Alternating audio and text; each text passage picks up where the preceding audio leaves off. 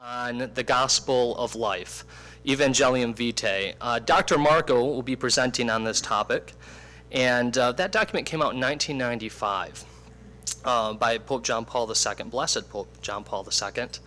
Um, a little bit before, he, when he came to uh, the United States in 93, I believe, for World Youth Day in Denver, he used that phrase, culture of death and it became a little bit more popularized uh, in this document, uh, this encyclical that he wrote.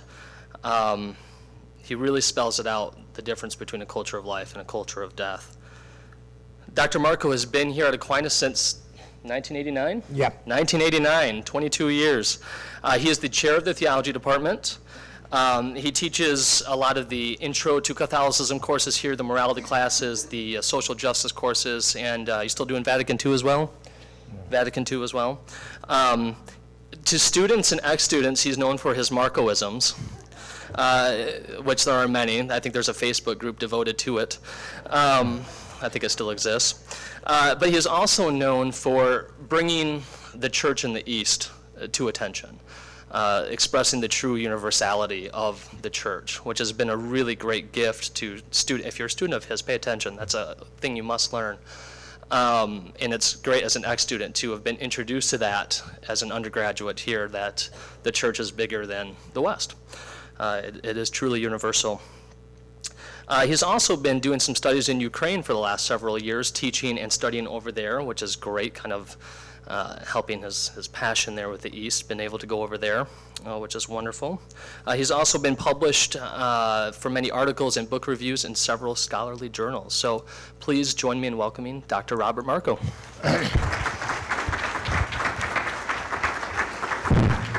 Thank you, Mark. Can you hear me? Does this work? Sarah, this works, right? Everyone hears me. Okay. Um, glad to be here. Um, Mark was one of my best students. I had him in several courses, and uh, um, I'm excited about the progress he's made in his own life. Uh, I, first of all, I must make a confession, for I am a fallen away third degree knight. Uh, I am not a member now uh, of the Knights of Columbus, but had been in uh, my younger period for a year or so when I worked as a young volunteer in International Falls, Minnesota, and belonged to the chapter there so I have not kept up my membership. But nonetheless, I'm incredibly grateful for all the work that the Knights of Columbus do and in support of life and other issues. I think you got a great deal on the uh, on the, the John Paul II Center in, in, in Washington. I was at a conference, actually, the Orientale Lumen conference in, in June there, when uh, it was mentioned by people there. We usually use that center for our conferences. It's a conference of Orthodox and, and Catholic theologians. Uh, but we were not this year because it was closed, uh, because it was being sold. And, and I remember people saying that you'll be very happy to hear who bought it. So I suspect that the loss for the Archdiocese of Detroit is your gain. Um, for those of us who've been engaged in this, in this movement for years, uh, and I have been, uh, I recall as an undergraduate, my, my professor of theology was Father Edward Bryce, who then went on to work in the Diocese of Pittsburgh in social justice questions, and then, and then later, uh, Father Bryce was the director of human life for the bishops. At that time in our history, those issues were very much connected together. I, I, I lament the fact, and maybe I don't know if it's the, if it's just Grand Rapids or our history, where those two issues have been split apart. Uh, I, I, I think that's been a, a, tragedy. I suspect that a couple of you here would probably agree with me. But uh, so I've been in this for a long time, uh, and I want to. You know, I want you to think about your own involvement in this and how the, how you came to this. But let me let me comment on how, according to George Weigel, in one, his first biography of, of John Paul II, uh, describes how uh, Wojtyla came to this. It occurred at or about 7 a.m. or thereabouts on September 1st, 1939. While he was serving Mass in Wawel Cathedral on that fateful day, Luftwaffe bombs began falling on Krakow. Several uh, weeks later, after a narrow escape from the, the, the pincers uh, created by the advance into Poland of the armies of the two world's greatest totalitarian powers. And remember, historically, it isn't just the, it isn't just the, uh, the Nazis who invaded Poland, it was the, it was the, the Soviets, okay? This area of Poland, which is now present-day Western Ukraine. Uh, uh, Nazi Germany and, and Soviet Union, many of Wojtyla's professors at the Venerable Jagiellonian University were summarily shipped off to a concentration camp with, well, dozens subsequently died. If you've seen the film on Katyn, the, the, the massacre uh, by the Soviets of the Poles, which is in Polish, I think it's English subtitles. Has anyone seen that? The Katyn massacre. It's very good, I, I think, and it describes, there's scenes in there in which this, this is occurring. You see them coming to the university. All right. This area fell under, under Nazi domination. But this was but one step in the Nazi strategy of decapitating Polish culture in order to reduce the Poles to a slave population that would eventually be starved and worked to death. As the Nazi governor of the rump of Poland, Hans Frank, put it, every vestige of Polish culture should be eliminated. They will work, they will eat little, and in the end, they will die out. There will never, ever be again a Poland. I think that's how John Paul II came to the great evil of, of according to Weigel anyway, of recognizing a culture of death that can come to any country. What I'd like to do uh, this afternoon, I guess, is, is divide this into three parts, like the Holy Trinity, and if any of you remember Gaul from your reading of, of Caesar. First, I'd like to give a short overview of the encyclical with some particular attention given to its methodology. I, I think probably uh, Professor Pestana addressed the methodology of natural law much better than I ever could. When Eric asked me about doing that topic, I said, I'm not the one to do it. I said, uh, Mark Pestana is certainly the one to do that. But I'm going to say a, thing, a few things about the methodology, particularly by the critics of, of, of this document. Secondly, I would like to trace, uh, trace with you certain selected passages with particular uh, attention given to the teaching authority of the document. I will claim, as, as many do, that this, this document in three places expresses the universal infallible magisterium of the church and therefore cannot be dissented from. Uh, certainly, I would certainly do that, and I think there's people on all sides would agree with that. And thirdly, I would like to address the question of abortion and law in civil society. This is something that I addressed in a similar presentation at the 10th anniversary of the encyclical, and I, I see Pat Ryan here uh, uh, back at St. Isidore's. And I want to go back to some of that. But first, the overview. On the Solemnity of the Assumption, uh, March 25, 1995, Pope John Paul signed his long-awaited letter on the value and inviolability of human life. It surely came as no surprise that in the letter that John Paul confirmed the church's traditional condemnation of all direct taking of innocent human life. However, what we will note, and we'll do this uh, later uh, for special comment, is the formula that was used in specifically condemning murder, direct killing of the innocent, abortion, and euthanasia, as well as the grave violations of moral law. Moreover, it appears that on the issue of capital punishment, John Paul moved the church's tradition somewhat, noting that execution is only appropriate in cases of absolute necessity, in other words, when it would not be possible otherwise to defend society. Today, however, as a result of steady improvement in the organization of the penal system, such cases are very rare, if not practically non-existent. So he's kind of a on the practical level, he's, he's, he's against capital punishment.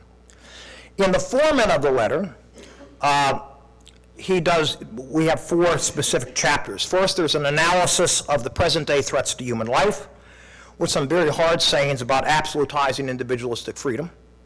I actually have a copy of the best summary I have ever come across of the letter it's pink, but I'll give it to you later. I, I made about 100 copies, so take one. But it's, it's done by the Knights of Columbus. It was done by Russell Shaw way back in 2000 or so. But it's the best. Has anyone seen that on the? I don't think it's on the website anymore. I have an old copy of it. Is it on the website? You know, Rick? But it's actually very. That's the best summary I've ever seen. I mean, the Vatican has a summary. You know, it's too wordy. You know, and then it's uh, you know you got other people giving a summary. You got the. Uh, Peace and Justice Office for Minneapolis, St. Paul, doing it and trying to put in ordinary English for people because they assume you're all stupid. Uh, and, uh, and that's not great, but the best one I've ever seen is actually this one. And that's not a gratuitous comment. I think, I think the Knights have done the best job, in, or the, the writer they got in that area. And secondly, in the second chapter, he looks at the reflection upon the Judeo-Christian sense of life as a gift. One of the problems in the encyclical, according to its critics, is that it does life both as, as the, uh, the, the material reality in which we exist now, as well as eternal life. So, and we'll talk about that. I think the critics have said that, you know, well, you know, either or. Well, for John Paul, and I think for us, you can't separate those. Uh, uh, thirdly, an explanation of the commandment, you shall not kill. And then fourthly, uh, a call to create a new culture hospitable, hospitable to life. I'm not going to address that at all. The Pope then closes with a, with a, uh, uh, um, a prayer to the Theotokos and, and asks that asks Mary for her help. Actually, throughout the text, you'll notice he breaks into prayer and meditation. Unlike my approach in the past, I will say, uh, and I've done this a couple times in different contexts. I see Sister Colleen here. I did this. I try to compare on campus Martin Luther King and John Paul II. All right, this is what you do in politically correct environments. All right, uh, but uh, uh if you want anybody to show up, uh, in any event, I try to do something on that, which is an interesting mix. Um, but uh, I'm going to take something from that, something I did at St. Isidore's, plus what I've done when Mark was a fine young undergraduate. But in the past, I, I have not addressed the, the question of, of content, of, of methodology, but more of content and context. I want to also suggest to you, unlike Professor Pestana, I come at this as a, as a theologian, not a philosopher. I recall one time a, a lunch conversation with Father David Burrell, of Notre Dame who, held, who holds two appointments, one in the Department of Theology and one in the Department of Philosophy. And Burrell, I, I, we were talking about the two disciplines and how they, they, they differ. He says if you want clear thinking, go to philosophy, or maybe some philosophers. But if you want to deal with real life, engage in theology. So uh, uh, if you want clear thinking, ask Pestana. All right. Uh, but if you want real life, yeah, talk to us. All right one of the one of the, the, most interesting critiques was a symposium that Georgetown University had on on the document, and and not unsurprisingly, uh, uh, many of the uh, moral theologians were somewhat critical of it. And I'm going to use just one. James Keenan, who is now at Boston College, was at Weston School of Theology before it merged. Keenan, in an analyzing the moral argumentation of Evangelium Vitae, offers rather critical observations about three, four areas. Actually, the text presentation his use of Scripture, secondly. Uh, third, um, search for dialogue, and fourthly, application.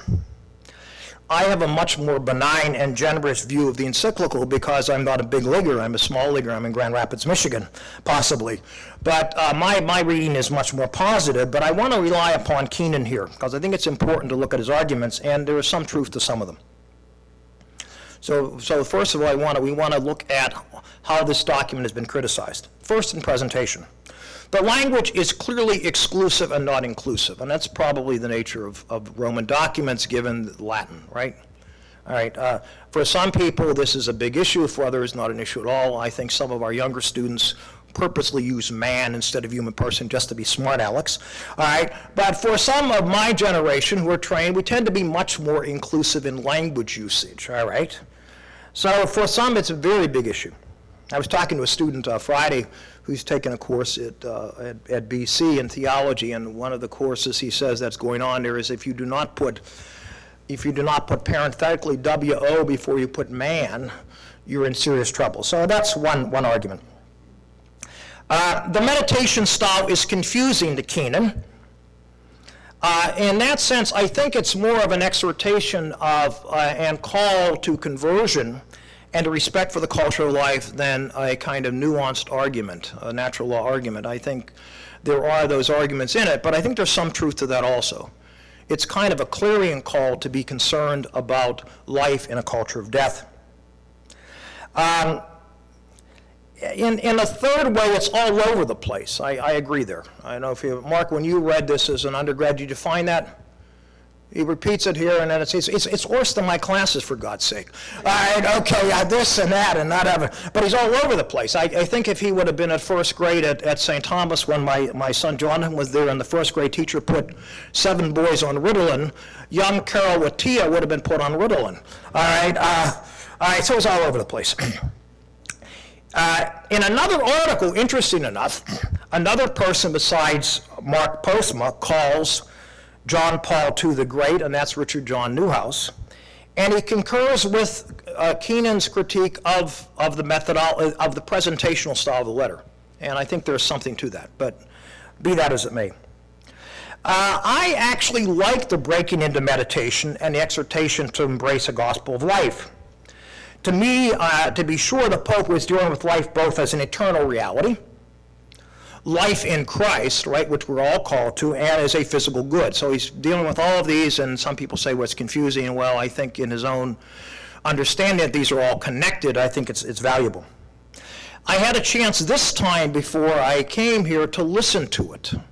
There's a, there's a website, I think it is, is Totus Tuus. Is anyone familiar with that?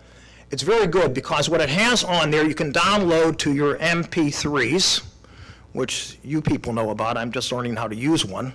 All right, you can download the document. And it is a meditate, it's, it's in an audible form, and it's part of a nine-day novena around the themes of, of the gospel of life. There's also every encyclical that John Paul II has written is on that, that website. So when I'm, when, I'm, when I'm cutting the lawn, I can listen to this. I also listen to Al Kresta's uh, Kresta in the afternoon. But, uh, I mean, uh, you know, it, that's how boring the, the, uh, the, the lawn cutting can become. But uh, as, you, as, you look, as you look at that, I mean, it's a real, it's a real great tool because as I listen to it, I listen to it as a spiritual text not as an academic text to be ripped apart. And I think there's a real difference in there. All right. Uh, let me let me tell you what I what kept I kept on hearing when I when I heard this. I kept on reflecting about on the exultet in the Western Church that we we that the, you know the exultet that we do on Easter Vigil. And let me quote you one passage of it because I think it shows this this connection. And you remember the exultet, you know, rejoice, and you remember some of you probably sing it, and some of you may sing it professionally in your parishes. This is what it's, this is the section I want to highlight. This is the night when Jesus Christ broke the chains of death and rose triumphant from the grave. What good would life have been to us had Christ not come as our Redeemer? Father, how wonderful your care for us, how boundless your merciful love. To ransom a slave, you gave away your son. In other words, as you can see from the text, uh, poetically, that, that life itself, physical, biological life, would, would, would not have the value it has if it wasn't for eternal life. It was interesting on yesterday's Kresta in the afternoon. I don't know if this was something taped before. Al might want to address this. There was that uh, David, is it David Goldman? Yeah, David Goldman was talking about, about and I think maybe you said or others, that in uh, Islamic culture where you've, where you, we become more and more secularized, you don't have kids, right? And why have kids? You know, if, if this is it, right? If this is it, why have kids? I mean, I think there's something to that. My Eastern bend also, that Mark notes, also gives me a kind of, of appreciation of this, both in its length, because their liturgies are god-awful long, and its reputation it, uh, it's re repetition rather, reputation too, probably. But it's repetition because if you can say it once, you might as well say it 500 times. Uh, so I, I, think there's something, to, to, while I recognize the arguments, I'm saying they're not all accurate. Secondly, um, I'd like to look at the issue of Scripture for Keenan. Scripture does function differently in exhortation and homily than in moral argument. Uh, that's one of the reasons I oftentimes get cringe when people use scriptural texts because they take them out of context and they do proof texting. That is not the way you do it in morality. But like the early church fathers, there is a spiritual meaning to texts that transcend its literal meaning, as the Catechism says, that we need to pay attention to the, to the spiritual sense. Third, he, criticizes, Keenan criticizes that it is not dialogical enough in its approach to our culture in engaging the culture, we must be respectful of it. I've seen comments both in the Commonwealth magazine commentary on it and Dr. Jean Porter of Notre Dame that would support what Keenan is arguing here. The question becomes, how does one engage a culture when it appears that evil is being foisted upon us? And I think that's the issue. Uh, two Sundays ago, I heard the rather general, generally temperate and even-tempered Francis Cardinal George deliver a homily at St. Nicholas uh, Ukrainian Greek Catholic Cathedral in Chicago. George rallied against the state of Illinois telling the church what a Catholic institution is or not. He was dealing with an issue that came up at Xavier University. Actually, you may be right about Xavier University. It probably, I mean, the state may be right, it isn't Catholic. Uh, he rightly, he rightly then praised the repressed and courageous underground Ukrainian Catholic Church in its stand against the Soviet state. It was interesting. In other words, he looked at a church that's repressed. And my own experience there, both as a Fulbright scholar and as going back to the last couple years, is that this is a church that is courageous. This is a church that endures suffering. George noted then that when society is secular, which I believe ours is, then the state becomes sacral. What is sacred? The state. And fourthly, Keenan even acknowledges that the local reception of the letter was very positive in general, which I think he would he suggests indicates that there is something quite awry in our culture when even those in secular media would recognize that there's some problem here in our culture. Okay. All right, my reflections then will follow. Let me, let me try to put these in some sense of order. All right, uh, they'll follow, and I'll simply try to quote some passages, and you have the text here. Um, uh, but let me note a general overview, a little bit about this. Let me note in the beginning that this document does reflect the spirit, without ever using the phrase, of Cardinal Joseph Bernardin's consistent of life ethic. I recognize that most people in this room bat to the right of the plate, but quite candidly, there is. Uh, Tormella, what do you think? Huh? Oh my God! All right. Uh, uh, you know, I, I've never been in a place where I become a flaming liberal. Uh, but uh, I'm usually that reactionary conservative Catholic. Uh, but in any event, uh, I realize that. But there is clearly within that document an appreciation of a consistent active life. I go back to my, my point. And I, I realize that some in the justice movement have sold out the, the right to life. There's no question in my, my mind. I come as somebody who comes out of both of those traditions, but where they were connected, huh? Not presently where we have this, this disconnect, which I think is insane and Maybe it's just in western Michigan where you're all nuts. All right. Okay, that is while it concentrates on threats to, to death and uh, to life in its earliest and final phases, and I, there's no question about that. You know, look at the issues. Abortion, euthanasia, the only two get. It also indicts war, slaughter, and genocide, the violence of life done to millions of human beings, especially children who are forced into poverty, malnutrition, and hunger, the scandalous arms trade, the reckless tampering with the world's ecological balance, and he's not in favor of, he's not making a statement here about global warming, we didn't even know about it then, all right, etc. The criminal spread of drugs and the abuse of the body and sexuality. Later, then, in my presentation, I will address the difficult and clearly divisive political issue that the text raises on, on how we ought to be first Catholic Christian rather than political in the worst sense of the word. And that certainly is part of my plea. So if I have a hermeneutic or a bias, or if I'm getting preachy, that's my, my, my claim. In that context, I rely on the work of the late Cardinal Dulles, um, where the Pope takes up the relationship between moral, moral and juridical orders, and he insists that civil law should protect the right to life, without a doubt. In other words, uh, and that laws that deny such pr protection, even when passed by majority votes, are invalid. They're part of the tyranny of the majority, right? Since it's always wrong to destroy innocent human life, persons persons who are ordered to do so by the doctors or state officials have a duty to object in conscience and to refuse compliance. In ruling out formal cooperation with evil, now those terms, are familiar with those terms, formal and material cooperation? You know, one you intend, right? When you intend, when you intend this evil. And placing limits on material cooperation. I mean, you'd all have to move, I don't know where you'd move in, in this country, from this country to find where you don't cooperate somehow materially with evil. Anybody, Ireland's even gone bad, huh? Poland's going crazy too, everybody's going crazy. All right, I don't know, we have to die first, I guess, to, to not have any, any material cooperation with evil. The Pope is following traditional Catholic moral distinctions. His teaching, however, raises problems for some Catholic politicians and judges, since their election or appointment might depend upon their willingness to support permissive practices, especially regarding abortion.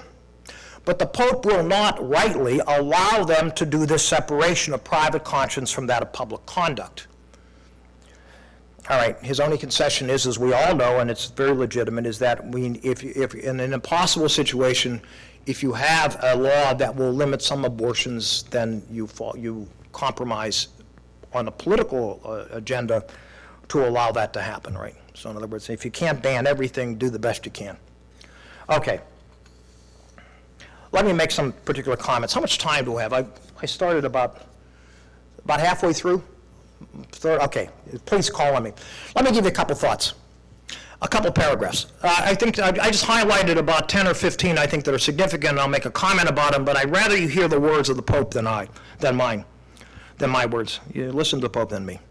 Uh, for, second, second paragraph, this is what he says. The gospel of God's love for humankind the gospel of the dignity of the person and the gospel of life are a single and indivisible gospel.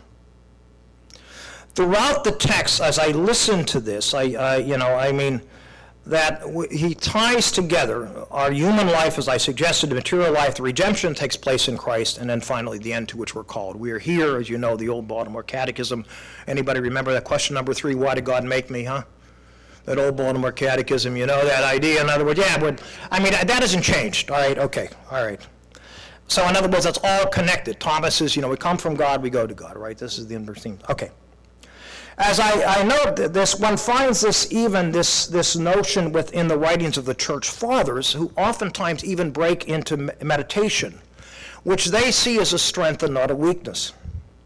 While maybe not everyone in this room has read Augustine's Full Confessions, even those that were assigned it, uh, uh, might recall some lines such as, Late have I loved you, O beauty so ancient and so, so new. Late have I loved you. Augustine breaks into prayer. This is also a style of the church fathers. And this is not seen as, in a certain sense, as being negative, but it's seen as something could be very positive. So you're connecting, you're connecting life and liturgy and intellectual thought and whatever. We don't do this. I mean, you've got clear thinking philosophers who separate all this out for us, right? But I, I, I think there's something to that style that I think is appropriate. In paragraph three, he has that famous quotation from the document Gaudium et Spes, the Church in the Modern World, the Joy and Hope, etc. document, that says this, and I want to reiterate this. This is very early on in the encyclical. Whatever is opposed to life itself, such as any type of murder, genocide, abortion, euthanasia, or willful self-destruction, whatever violates the integrity of the human person, such as mutilation, torments inflicted on body or mind, attempts to coerce the will itself, whatever insults human dignity, such as subhuman living conditions, arbitrary imprisonment, deportation, slavery, prostitution, the selling of women and children, as well as disgraceful working conditions, where people are treated as mere instruments of gain rather than as free and responsible persons. All these things and others like it are infamies indeed. They poison human society and they do more harm to those who practice them than to those who suffer from the injury.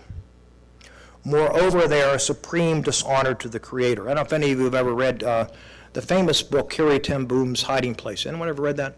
It's a great, actually, it's a very good book. I, I really was moved by it. I mean, I thought it was one of these, spire publications, you know, hokey religion crap. But, you know, it's actually very good on Providence. Uh, There's a great, there's a great scene in there in which, in which Corrie's sister Betsy and Corrie are walking down the street in, in the, I know, it was Amsterdam or whatever Dutch, Dutch city it was, and they see Nazis beating, beating these, these, these Jewish people that, where they're carrying them off.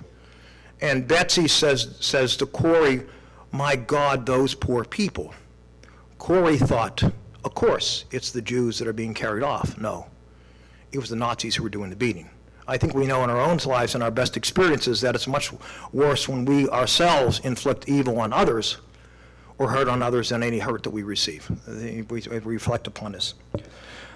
Okay, the purpose of the letter stated in five, and he, he- I won't, I will- I'll skip that for the sake of time. He tells us what it's about, and you kind of get a sense of what it's about. Um, In, in, in uh, paragraph seven, he talks about why, why God does not create death.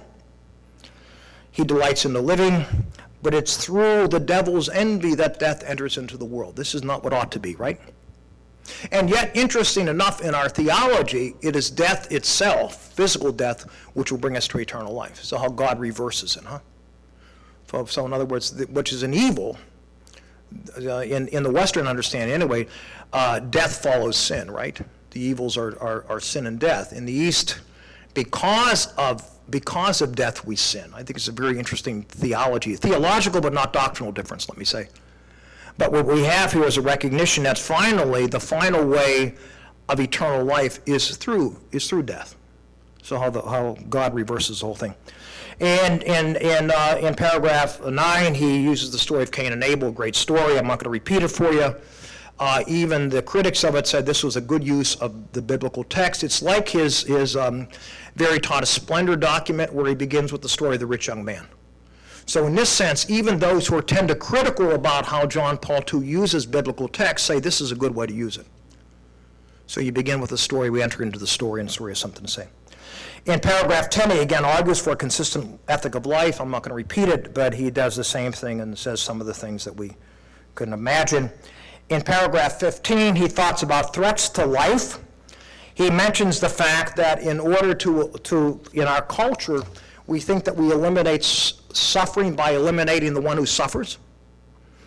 If you recall that in the beginning of the Holocaust in Germany, the first group that was targeted by, by the Nazis were those who were mentally and physically uh, deficient, right? Interesting enough, there was so much outrage by the, the, the Catholic and Protestants in that country at that time, clerics, that Hitler had to stop that program. Interesting. Would have been interesting if we, there would have been a more of a greater outcry, and I don't want to go back and look at history. I'm a Monday morning quarterback. But I think there's something to the fact that that was that, the outrage of euthanasia, the eliminating of lives not worthy of life. You think about the German uh, term that was used, lives not worthy of life. So he does uh, mention this because this is part of us.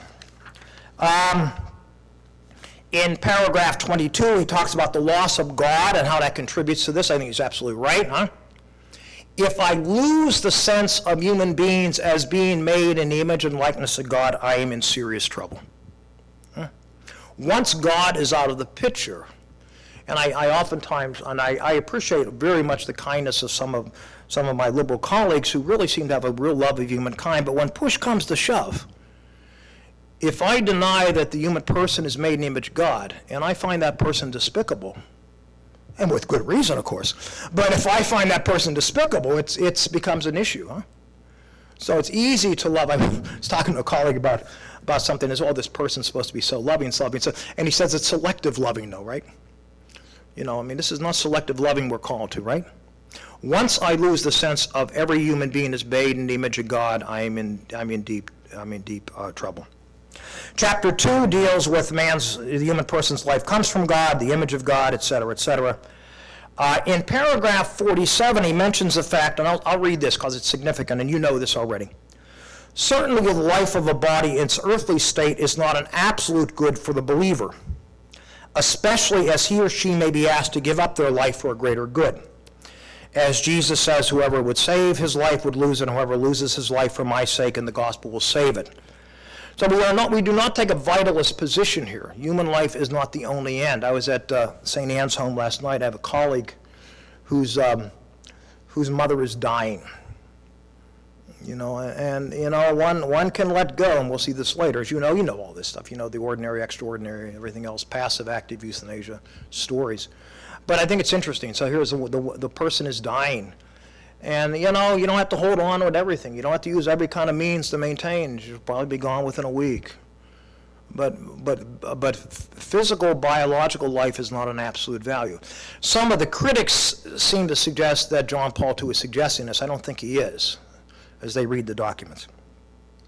Chapter 3 ad- uh, addresses self-defense, which you're aware of. Did you talk about that at all, Mark? I was teaching this morning, so I don't know. Did you talk about self-defense and natural law? No, okay. But you know the story there. You can do this. Uh, In that light, he talks about the death penalty in paragraph 47. And let me read that for you. I think this is an important paragraph because it's the third issue dealt with. All right. All right. It is clear that for these purposes to be achieved, which is, which is defense, the nature and extent of the punishment of those who rob someone of life, I'm adding that parenthetically, must be carefully uh, evaluated and decided upon and not no, go, go to the extreme of executing the offender except in cases of absolute necessity. And then he goes through and says, in other words, only in situations where it would not be otherwise possible to defend society. Thank you very much. All right. Uh, today, such a result is, um, such a result, given our penal system, is practically non-existent. And then he quotes the Catechism. I find it very interesting. He appeals to the Catechism, and the text in the Catechism, which supports his argument here, the change in the catechism from the original French edition to the official Latin edition came about because of his teaching in places like St. Louis. Right? So in other words, I think it's clever. What you can do, in other words, he appeals, he appeals to the tradition that he already shaped. And that's a clever thing to do. I think it's great. I mean, in other words, in uh, here's what the tradition says. Well, he doesn't say it, but I gave you this tradition, or I'm, I'm involving this tradition. Now, to be sure, there are arguments uh, that, that would go contrary. To, I mean, uh, uh, in a, an article in First Things I read several years ago, uh, Antonin Scalia took off, took issue with the Pope's teaching on this, right? And said maybe in some cases, you know, maybe he's moving the tradition too far. So you got somebody from the right criticizing him. You got people on both sides criticizing him. You know, you got the left and the right. All right. In any event, I want to take three paragraphs together in a couple couple minutes, and that is paragraphs 57, 62, and 65. And let me be very. What I got? About five, six, seven minutes. These I think are the are, are very significant because if you look at the at the text, there's italics there on in there in which he condemns three things, and I'm going to skip much of it. There is italics that says, I confirm the direct and voluntary killing of an innocent human being as always gravely immoral. And he appeals here to the unwritten law which human beings hold in their heart, that Dr. uh, Pestana's told you, sacred scripture, reaffirmed by sacred scripture, the tradition of the church, and as taught by the ordinary and universal magisterium. In other words, what John Paul II is doing on the direct killing of any innocent human life, and also in his condemnation of abortion in, in, in paragraph 62 and his condemnation of euthanasia in 65, is he is, he is appealing to what we call the universal ordinary magisterium, which is, is infallible. In other words, Vatican II makes it quite clear that when the bishops in communion with the Bishop of Rome teach consistently on an issue as to be taught as to be taught without error in the church, then that teaching is is part of the universal ordinary ordinary magisterium of the church and is to be held as infallible. It is not an exercise of of a sole exercise of papal prerogative or papal authority alone, but is that of the human church. Let me read Vatican II. According to Catholic theology, this is my words. A teaching of the ordinary and universal magisterium is infallible if it's taught by the bishops dispensed throughout the world as long as they teach it in a definitive and authoritative manner. This is Lumen Gentium, paragraph 25, the, the dogmatic constitution on the church. Before writing this letter, John Paul II, therefore, surveyed bishops in the world, asking them if they would agree that, that murder directly willed, that abortion and euthanasia were immoral, and they all agreed that they were. To make this connection clear, the Pope concluded each of the passages in Evangelium Vitae, I mentioned the three to you, uh, with reference to the universal and ordinary magisterium. Uh, Paragraph 58, he talks about the loss of the gravity of abortion. Paragraph 65, he talks about euthanasia, defines it for us, which I think is very helpful, because people get really confused about this. You know, I was talking to somebody last night at a nursing home, and somebody who should know better, and talking about ordinary, extraordinary, was rather confused. I, I think that's interesting. Uh, 65, um, we'll skip. Let me, let me find, turn to the last characteristic. What about the notion of law? Let me forget the five pages and get it real quick. Uh, You know, the, the principle is this, right? This is the issue of, of, um, of the relationship between, John Paul II is arguing here that based on natural law, everyone has a right to life, all right? Okay. All right, um, and therefore, uh, it should be enshrined in civil law. In other words, civil law should reflect natural law or God's law. Got it? Okay, basically it. Now, on some issues, you don't need to do that. You know, people would argue, say, well, maybe marijuana should be, should be decriminalized. Yeah, so what? Who cares? I mean, it's not a big issue, right? But on some issues, it is crucial that civil law, civil law reflect moral or natural law, which is grounded in God's law, which, or what Thomas calls eternal law. You have to, it has to do that. In other words, when they're big issues, you cannot disregard them. Whether or not marijuana should be legalized is, is a prudential judgment. All right. But issues like this are, are, are crucial. And I, I think in this sense, uh, John Paul II is like Martin Luther King. Because Martin Luther King, in his letter from a Birmingham jail, made it very clear that any civil law, Southern segregation laws that were not grounded in moral law or God's eternal law, as Thomas says, are not morally binding. Therefore, laws in our society are not morally binding. All right? So, you know, uh, in, in a, so in other words, when it comes to those kind of issues, they're not morally binding. Now, it doesn't mean that everything that is immoral must be illegal, but some things must be. All right. Let me, let me quote something uh, about from Robert George, who, uh, Princeton University, commented this in 95, and I'll be done. The grave injustice to the unborn of laws permitting and funding abortion make it legitimate for, illegitimate for citizens or public officials to support such laws. They can never be justified, as, say, drug legislation could, conceivably be justified as a lesser evil. The prudential toleration of evil has, evil has no application in cases of radical injustice. So as the Pope says, and I quote the Pope, in the case of intrinsically unjust laws, such as a law permitting abortion or euthanasia, it is never licit to obey or to take part in a propaganda campaign in favor of such a law or to vote for it. Actually, I brought with you the guidelines of the bishops from the 2007 uh, uh, Faithful Citizen. The new one is, is not printed yet, but it's online. So if you go to the, the bishop's website, uscccb.org, you'll find that the new document, uh, I have a copy of that, but it's not printed yet. But I have the old one if anyone's interested in that as well as the interested in the, uh, in the, um, this other piece. Let me, let me then close with two quotations. And I'm picking two guys who were involved together when justice issues and life issues and everything else was tied together. The late Father Richard John Neuhaus, editor of First Things, not necessarily a flaming liberal, and Martin Luther King Jr., not necessarily a member of, uh, let's say, any group. What's one of these? The Tea Party. All right, okay. Uh, so let me take these two folks. this is Neuhaus first. Here's what he says uh, to commemorate uh, um, Evangelium Vitae.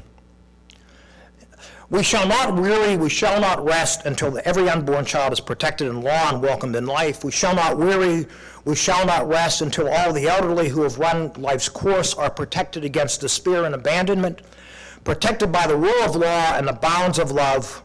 We shall not weary, we shall not rest until every young woman is given the help she needs to recognize the problem of pregnancy as the gift of life we shall not weary, we shall not rest as we stand guard at the entrance gates and the exit gates of life, and every step along the way of life bearing witness in word and deed to the dignity of the human person, of every human person. And now King's very short comment, which tells us something about maybe our methodology in doing this. Whom you will change, you must first love, and they must know you love them. Thank you.